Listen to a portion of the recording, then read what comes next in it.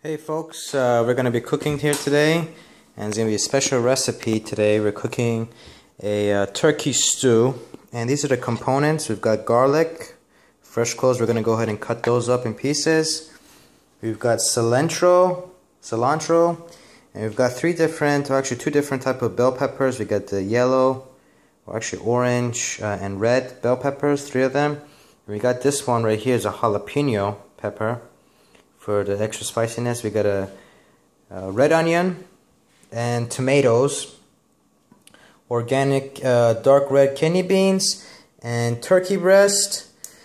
Uh, with uh, is 99% fat free, and we've got the different specs on it here on what it is. So we're gonna cook all that together today. Uh, we're gonna chop up all the pieces into little dice pieces for each of these components.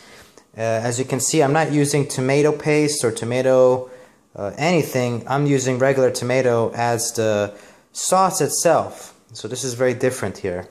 And as we can see here, I'm using a stainless steel uh, pot to cook it all in and I use stainless steel because um, you know you don't want something to seep into the food that you eat and this is the brand for this one is